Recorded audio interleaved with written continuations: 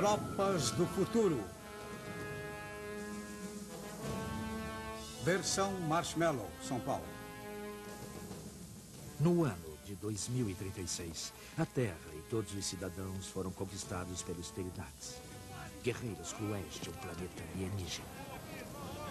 A guerra convencional foi substituída por um combate único entre gigantescas máquinas mortíferas e robôs gladiadores. A última máquina, capaz de derrotar o inimigo alienígena, foi enterrada profundamente na selva, esperando ser ressuscitada por um pequeno grupo de combatentes da resistência. Essa é a história deles.